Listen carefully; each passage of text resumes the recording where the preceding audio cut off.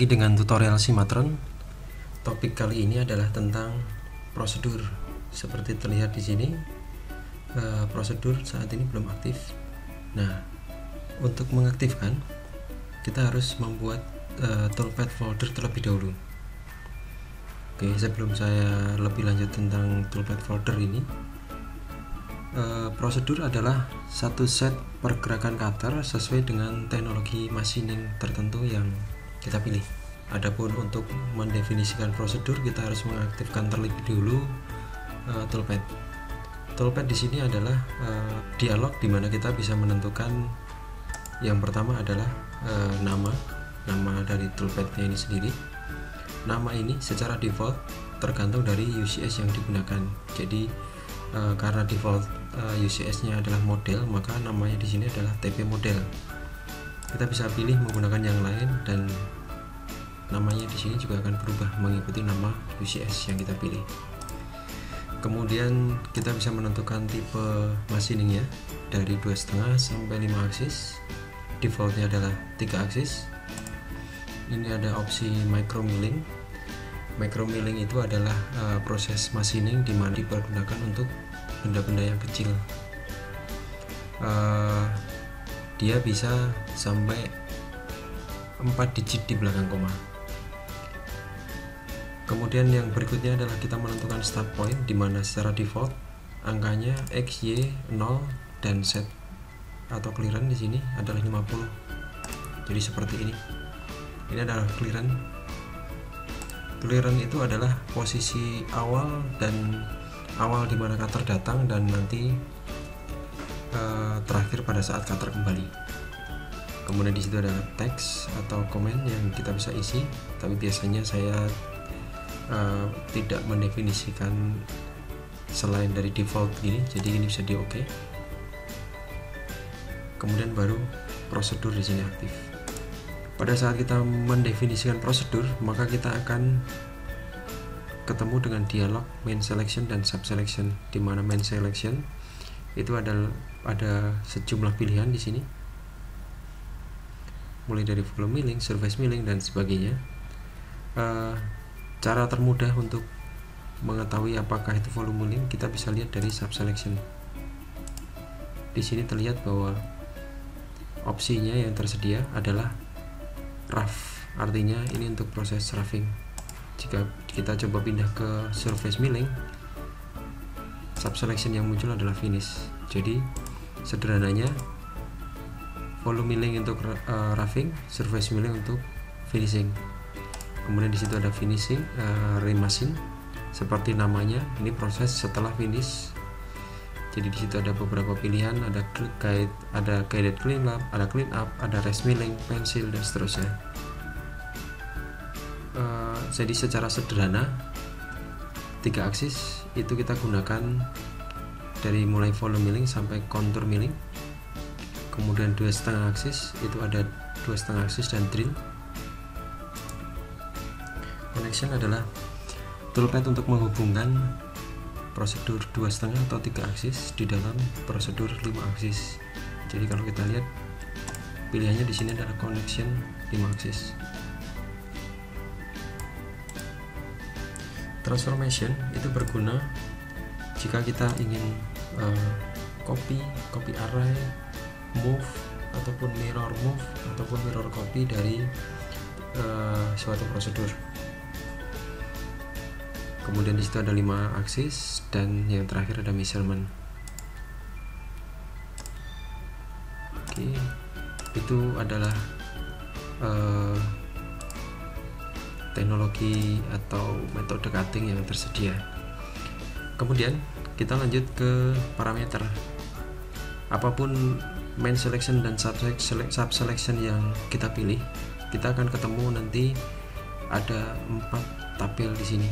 Ada geometri ada mesin ada cutter ada motion. Geometri ini adalah uh, dialog di mana kita harus mendefinisikan geometri. Nah secara default geometri itu ada dua ada surface dan kurva. Untuk tiga aksis ada cukup banyak definisi saat ini. Tapi secara sederhana kita bisa bagi menjadi dua kelompok yaitu surface dan kurva. Adapun untuk dua setengah aksis geometri yang digunakan adalah berupa kurva atau di sini disebutnya kontur terdapat beberapa variasi di mana eh, penamaan kontur mungkin pada subselection yang spesifik akan sedikit berbeda. Tapi semuanya mengacu kepada eh, geometri berupa kurva. Lanjut ke cutter and holder. Ini adalah data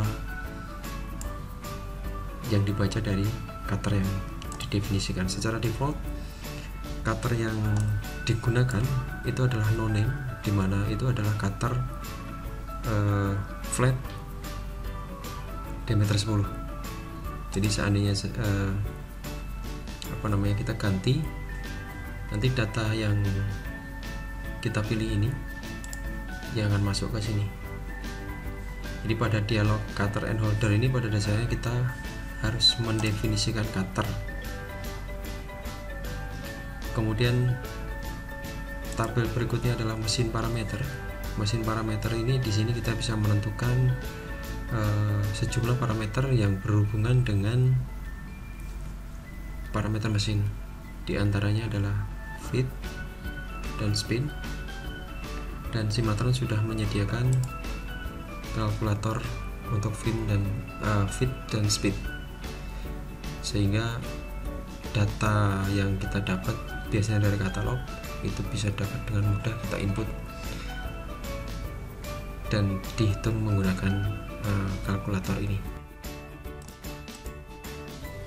Tabel parameter yang berikutnya adalah motion parameter di mana pada tabel ini kita harus mengisi beberapa data. Cukup banyak tapi tidak perlu semuanya diisi karena ada sebagian yang cukup menggunakan default tapi yang pasti adalah uh, parameter yang harus diisi ini berhubungan dengan parameter gerakan. Misalnya sebagai contoh approach atau retract itu adalah gerakan pada saat entry ataupun pada saat out. Kemudian clearance ini adalah setting untuk pengaturan uh, pada saat cutter berada di posisi home atau posisi clearance tadi kemudian internal clearance dan dan beberapa parameter yang berhubungan dengan pengaturan gerakan pada saat cutter berpindah dari satu area ke area yang lain. Kemudian entry itu berhubungan dengan parameter untuk pengaturan masuk. Jika kita menggunakan metode untuk graphing di sini akan tersedia beberapa parameter uh, untuk cutter bisa masuk yaitu ramping ataupun plunging kemudian ada boundary setting.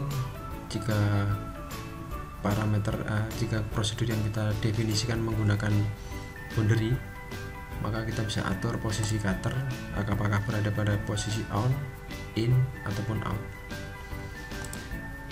Kemudian toleransi kita bisa atur dari tolerant and surface offset. Dan yang terpenting di sini adalah tool trajectory di mana kita bisa mengatur uh,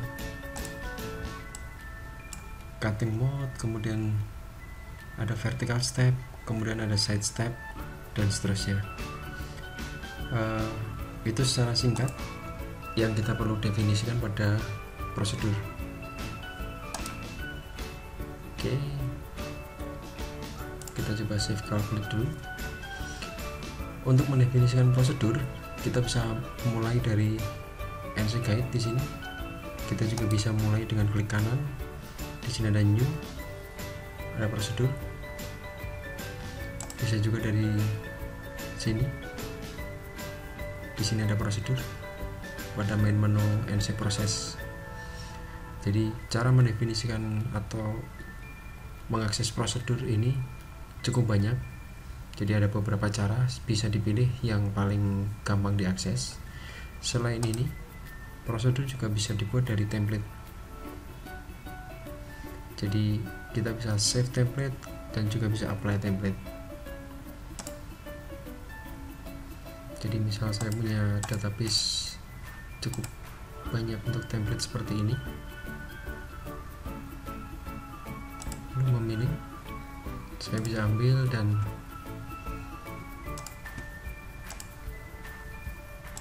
ini saya bisa aplikasikan.